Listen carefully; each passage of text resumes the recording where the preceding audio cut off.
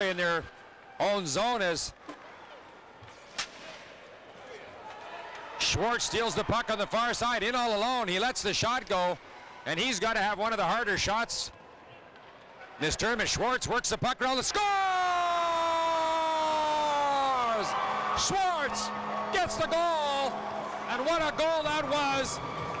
As he did all the work, he worked the puck in on the far side, took the puck, the slap shot, got his own rebound, and Schwartz puts the puck in, and his team takes that two to one lead. Wow, what a goal by Schwartz.